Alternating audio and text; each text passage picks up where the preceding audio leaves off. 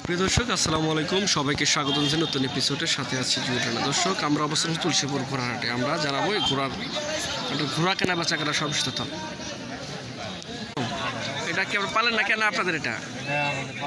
হ্যাঁ? পালের আচ্ছা পালের এটা কি বাচ্চা? টাটো না ঘুরি ঘুরি বাচ্চা না? বয়স কয় মাস? জুড়ে বলবেন হ্যাঁ। বারো মাস। বারো মাসটা কোন এলাকার এটা?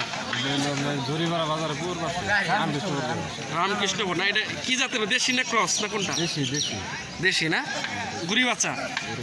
আট মাস। বারো মাস। মাস না? আচ্ছা আজকে এটা কত দাম চাইতেছেন? বিশ হাজার। টাকা? এর মধ্যে দাম হয়েছে কি? কত হয়েছে? দশ এগারো। কে এই দামে ছাড়বেন না? কত হলে ছাড়বেন?